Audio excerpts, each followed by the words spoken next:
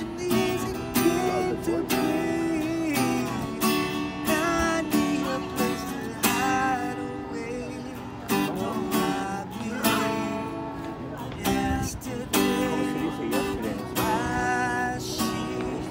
had to go. How do you say yesterday in Spanish?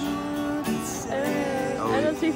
Oh, I'm sorry. I thought you were from From Italy. Iran. Oh, you're Italian.